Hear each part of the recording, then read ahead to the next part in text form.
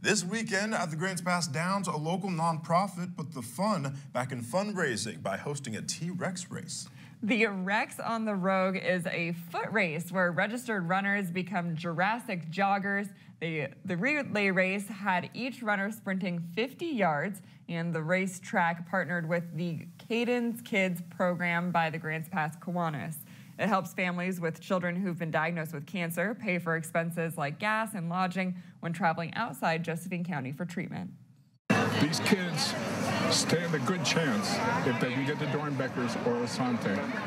We give them the money to be able to go and do it and not have to worry about what it's going to cost to get there or where they're going to stay on the other end.